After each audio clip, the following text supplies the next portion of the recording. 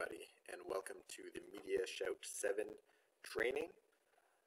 So to begin, um, you'll need to log into the slides account on the laptop, which someone will provide you, and then when everything comes up, you just click on the MediaShout 7 icon.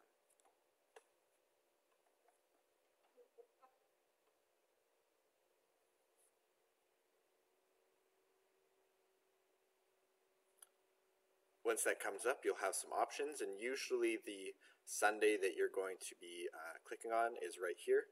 But if it doesn't come up, uh, then you just open script, and then go to scripts, and then you'll see the Sunday that you are doing slides for. So you click on that and click open.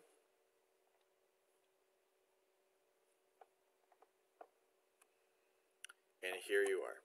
So on the left is everything is a, a, layout of the whole Sunday morning. So we see we have uh, a rotating announcement slides that you'll put up at the start, and then you can scroll down, and there's your welcome, the announcements that you go through, and so there's the main one, and then the three different announcements, and then there's the first song and the second song, and you can see on the side here, verse one, chorus one, uh, pre-chorus one, chorus 1, verse 2, the third song, and then we're going to have a video and then a blank slide uh, for the for the sermon. Now, when this is the uh, the editor slides, so what you won't really have to change anything because this should all be done for you. So up here, you see presenter view. You're going to want to click that on.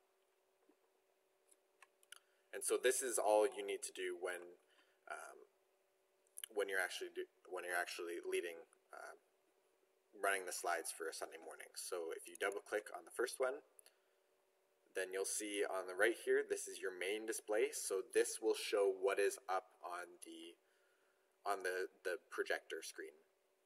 And this stage display here, this is what is being projected to the small TVs at the front of the stage and also the TV on the back of the room.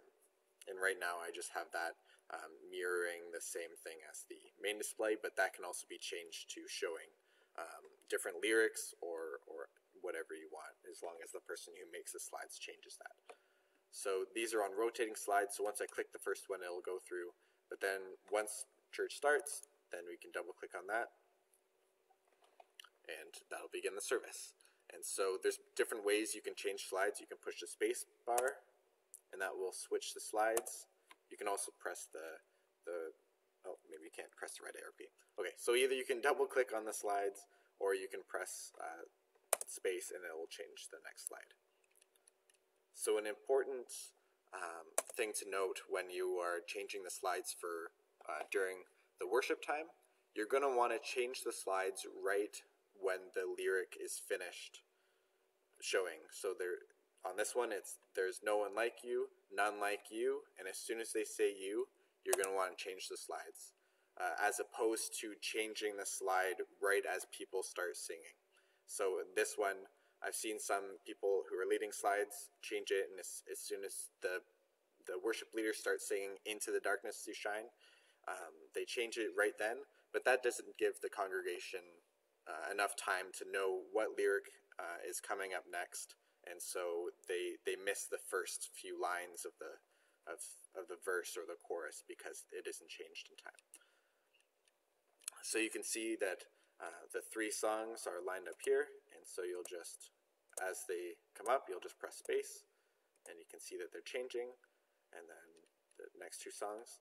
Now, I have a video in this one, and you can insert the video right into MediaShout 7, and I would recommend doing this as opposed to bringing it up on a different screen and having to put it up.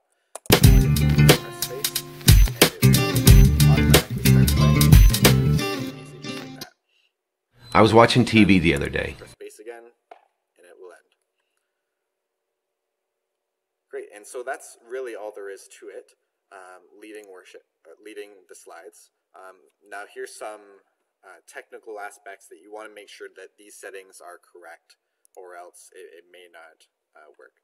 So one of them is making sure that this main resolution and stage resolution, that those are uh, this number, 1024 by 768.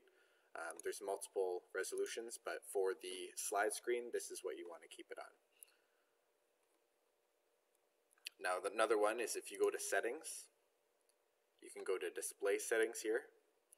You're going to want to make sure that this is on main display. The main display is display 2, and the stage display is, dis- is display 5. If they are on any other um, any any other displays or if they're blank, then that might be a reason why uh, the slides are not coming up on your on the uh, projector.